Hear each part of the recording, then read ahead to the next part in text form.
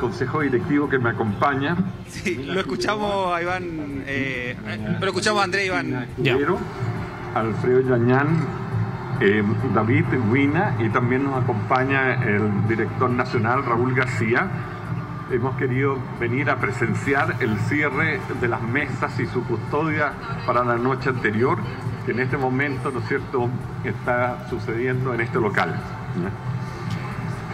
Hoy hemos tenido una exitosa instalación de las mesas de sufragio. A las 10 de la mañana contábamos con el 99% de las mesas instaladas. El resto se han estado instalando un poco después, pero igualmente hemos, hemos llegado a una gran instalación.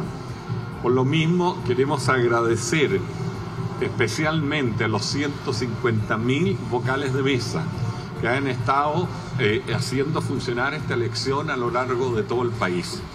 En, en un evento, la gran mayoría hemos, hemos llegado a una gran instalación.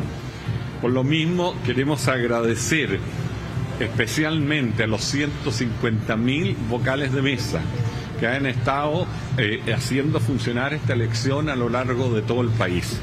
En, en un evento, la gran mayoría de ellos lo hacen por primera vez y han cumplido con el llamado que eh, se les hace eh, el país a este servicio público, a esta carga pública, y han concurrido, ya han constituido las mesas, sabiendo que esto, esto va a ser más pesado que una elección normal porque van a tener que trabajar dos días.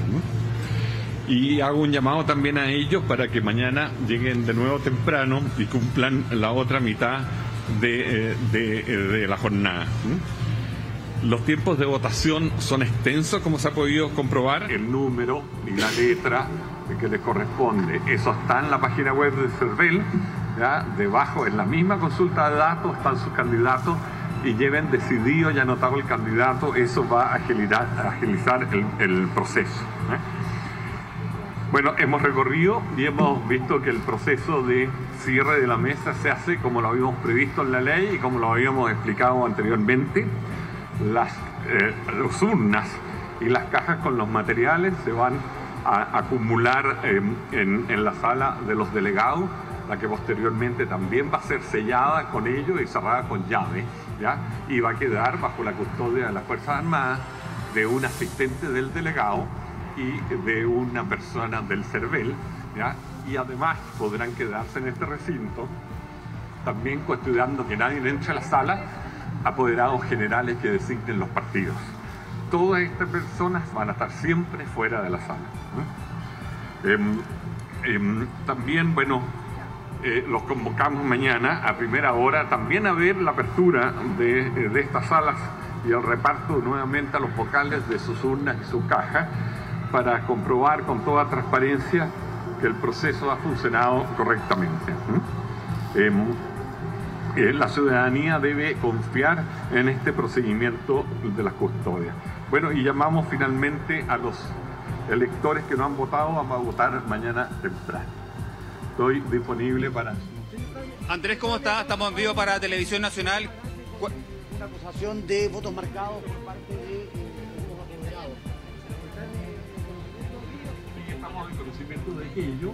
Mira, eh, el tema se resolvió muy bien en la mesa.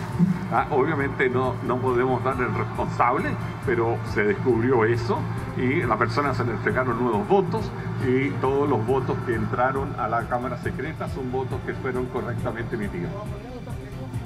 No, no, eso, eso no, no nos corresponde a nosotros.